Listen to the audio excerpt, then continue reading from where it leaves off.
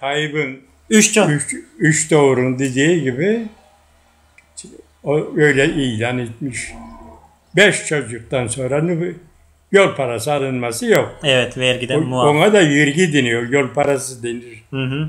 Yol parası 6 lira idi. Hmm. Çok pahalı ya. He. Ondan sonra 12 liraya çıkardılar. Yani. Biz fabrika girdiğimizde 12 liraya çıkardılar. He. 40 lira 40 lira. Bir adamın yövmiyesi ne kadardı düşün işte. Adam yemesi 40 kuruş. He yani nasıl verecek?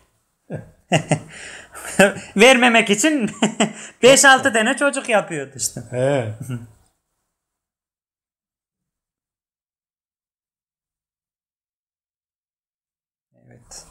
Tayyip Erdoğan en az 3 çocuk istiyordu. Atatürk en az 5 çocuk. Vi får sportkasten.